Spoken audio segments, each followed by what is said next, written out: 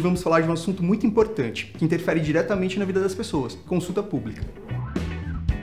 Consulta pública é uma ferramenta que dá a possibilidade da sociedade, pessoas, empresas, associações, de participarem nas decisões que o governo toma.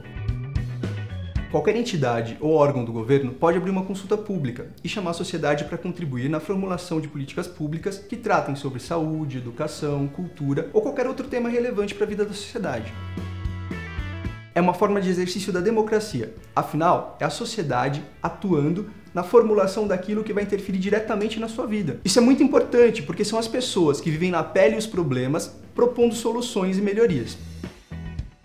Todo mundo se beneficia com consulta pública. O governo, porque está vendo um ponto de vista que ele não costuma enxergar, e a sociedade, que contribui sob o ponto de vista de quem vive o problema.